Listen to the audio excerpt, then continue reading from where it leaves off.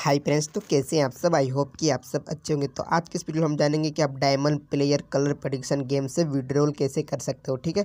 जैसे मैं यहाँ पर आपको दिखा देता हूँ डायमंड प्लेयर, यहाँ पर मैं इसको ओपन करता हूँ। ओपन करने के बाद यहाँ पर आप मेरा बैलेंस देख सकते हैं, तीन सौ अड़तालीस रुपया है। तो मैं यहाँ से थोड़ा सा विड्रॉल करके आपको दिखाऊँगा कि कैसे इसमें आप बैंक डिटेल यहाँ पर डालना पड़ता है। एक एक स्टेप बताऊँगा जिससे आप आसानी से विड्रॉल कर पाएँगे डायमंड प्लेयर ऐप से। यदि आपके पास डायमंड प्लेयर नहीं, कोई अदर कलर प्रडिक्शन गेम है तो सेम सब में होता है तो मैं आपको डायमंड प्लेयर में आपको दिखाऊँगा।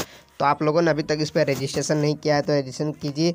डिस्क्रिप्शन में वीडियो का भी लिंक है और इसका डायमंड प्लेयर का भी लिंक है। आप वीडियो देख के भी रजिस्ट्रेशन कर सकते हैं तो आप नंबर से कर सकते हैं। बहुत ही अच्छा प्लेटफॉर्म है, यहाँ से आपको वीडियो भी मिल जाता है आसानी से घर बैठे यहाँ पर अर्निंग कर पाएँगे। तो चलिए वीडियो को ज़्यादा लंबा ना करते हुए मैं आपको डायरेक्ट बता देता हूँ कि कैसे विड्रोल करना है।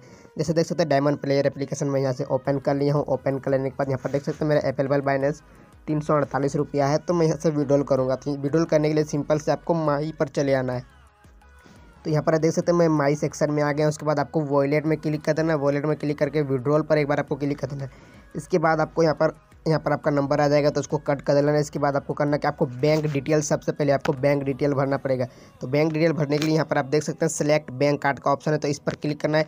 इसके बाद आप यहाँ पर आएगा नीचे में एड बैंक कार्ड तो यहाँ पर आपको क्लिक कर देना है। इसके बाद आपको यहाँ पर बैंक डिटेल आपसे पूछा जाएगा। तो सबसे पहले आपको सबसे फ़र्स्ट वाला में आपको एरो लगा के दिखा दे रहा हूँ। यहाँ पर आपका बैंक पासबुक में जो भी आपका नाम होगा, वो आपको फुल नाम यहाँ पर आपको दर्ज कर लेना है, ठीक है? इसके बाद आपको आपको अपना बैंक का आईएफसी कोड आपको डाल लेना, वो भी आपको पासबुक में ही मिल जाएगा। इसके बाद आपका बैंक कौन, किस बैंक से है, आप यहाँ पर यहाँ से आप भर लीजिएगा। इसके बाद अकाउंट नंबर आपको भर लेना है। इसके बाद कौन सा स्टेट से है, यहाँ पर वो भर लेना है, सिटी भर लेना है, एड्रेस आपका बैंक कहाँ पर है वो आपको भर लेना है और मोबाइल नंबर आपको डाल देना है, ठीक है? इसके बाद में, इसके बाद आप यहाँ पर ओटीपी पर क्लिक करेंगे, जो नंबर से आपने यहाँ पर रजिस्ट्रेशन किया, उस पर एक ओटीपी आएगा, इसके बाद कंटिन्यू पर कर देना है। तो मैं वीडियो को पोस्ट करके सब स्टेप बाय स्टेप आप डाल देता हूँ, ठीक है? तो बहुत लंबा हो जाएगा, एक एक करके डालूँगा तो। तो मैं दें यहाँ पर आप वीडियो को पोस्ट करके सब मैं यहाँ पर डाल दिया हूँ, आप भी डाल दीजिएगा, इसके बाद आप देख सकते हैं, जो भी आप नंबर यहाँ पर डाले होंगे तो उस पर एक ओ आएगा तो ओटीपी पर क्लिक कर देना है, ठीक है? ओटीपी पर जैसे क्लिक कर देंगे तो आपको यहाँ पर ओटीपी आ जाएगा। तो थोड़ा सा आपको वेट करना है।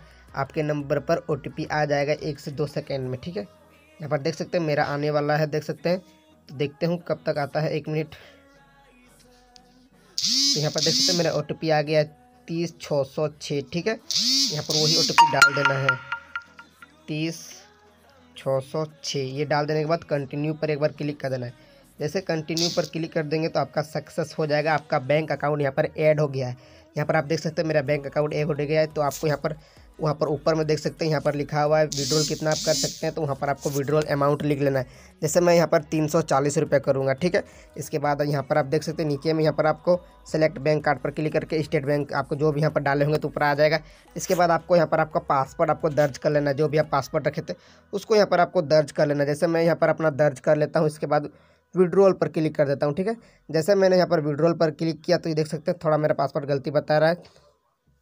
तो यहाँ से मैं इस विड्रोल पर क्लिक कर देता हूँ। इसके बाद देख सकते हैं, मेरा सक्सेसफुल हो गया है। इसके बाद मैं सेव पर क्लिक कर देता हूँ।